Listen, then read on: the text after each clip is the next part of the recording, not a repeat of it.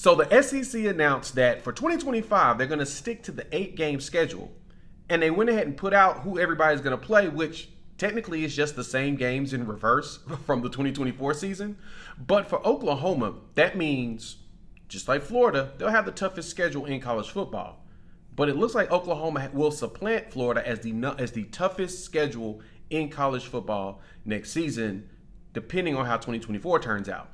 Let's dive into that and also what it means today that the SEC announced that 2025 is going to look like this because I think it's kind of letting us know what 2026 is going to be. And there's a couple of key games we got to talk about. So, before we do that, welcome to Unfair Sports. I'm your host, Jay. Thank y'all for pulling up to the channel.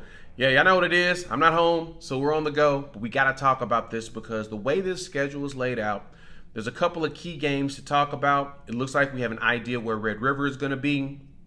Plus, we also have an idea of how Oklahoma is going to be navigating the toughest schedule in college football. So let's dive into it, right? So, Oklahoma, of course, tweeted this out 2025 schedule. Here's your non con. There's two games on there that y'all should, you know, go ahead and circle and pencil in. And we'll talk about some of the key things about this. But first off, Michigan's coming to town. Second game of the season, Oklahoma will play Michigan in Norman. So Michigan head coach Sherrone Moore makes his return back to Norman and as the head coach of Michigan this time around, and we get to see um, you know, if if, if we ready to play with them, right? I mean, Michigan's the national champs. You know, they also super physical Big Ten school, so now we get to see how we match up against them. And that's that's one key game to keep in mind, and I think that's what propels Oklahoma to having the toughest schedule in the SEC, or actually in the country. Period with the rest of the schedule and the way the gauntlet's going to look. Then on top of that, Oklahoma makes a travel on the non-con by doing a home and home with Temple, which is not very common, right? You don't really see very many G5s get the opportunity to host a team like Oklahoma in a non-con setup like this. And but Oklahoma's going up to Philadelphia. They're going to play Temple. It's going to be a fun game, right? Now, let's look at this SEC schedule. SEC wise, Oklahoma will actually have four home games this season, meaning four games in actual Norman SEC wise, and then they'll have three games on the road in the SEC. But they'll technically have four away games. Let me explain what that means. So for 2024, if you notice that Oklahoma only hosts three teams in the SEC, right? They host Tennessee, they host South Carolina, and they host Alabama. That's it, right? So you would be like, okay, well, that's three home games. What about the fourth one? Well, of course, as you know, Red River is a neutral site game.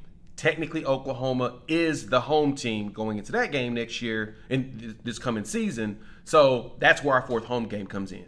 Now we'll only be traveling four times all next season because to me, Dallas is just South Oklahoma, right? We own that city. That's that's just kind of what it is, right? Red River.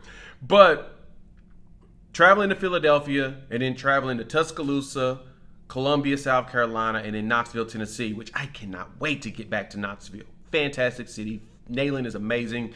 Love Vols fans. Love everything there. And then, of course, Red River, which is technically our quote unquote away game. So Texas will have the other setup. But looking at that, this tells me that there's a chance that Red River is going to be one of two weekends, either the second or the third Saturday in October, right? I'm sensing it's going to be the second. George Stoia tweeted that out, and uh, shout out to him over there, Sooner Scoops.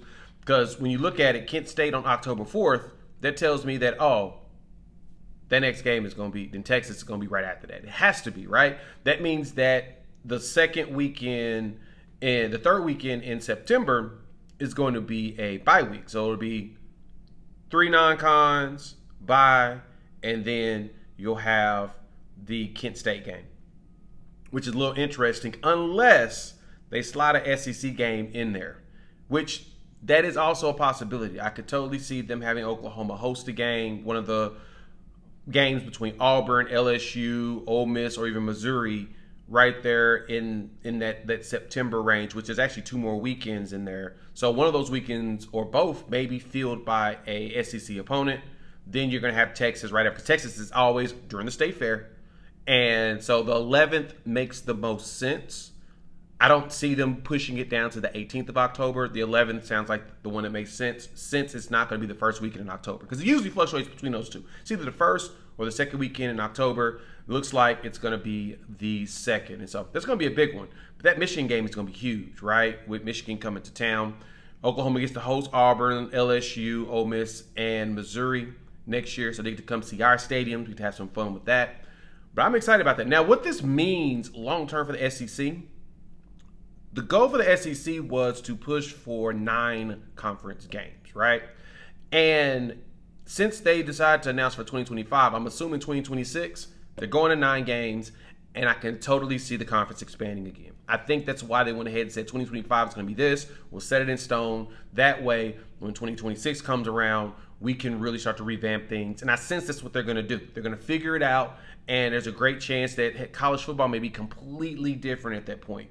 So it makes sense to get ahead of it right now by saying, look, we're going to go ahead and have this schedule out and anticipate there's going to be changes in the landscape of college football come 2026. And so that season, good chance it'll be nine games, as well as potential adding more teams. Now, I, I don't, I don't know. That there's nothing out there saying it's to happen, but I mean, if you just read the tea leaves, it feels like we're going that direction. And so, since that's the case, I anticipate that we'll see nine games and we'll possibly see some expansion. But yeah, man, Oklahoma's to have a fun schedule. That Michigan, uh, Illinois State to start the season off in Norman, then Michigan coming to town, and then traveling to Philly, and then coming back, or I mean, in between those two games, there'll be some SEC matchups, and then Kent State right before Texas.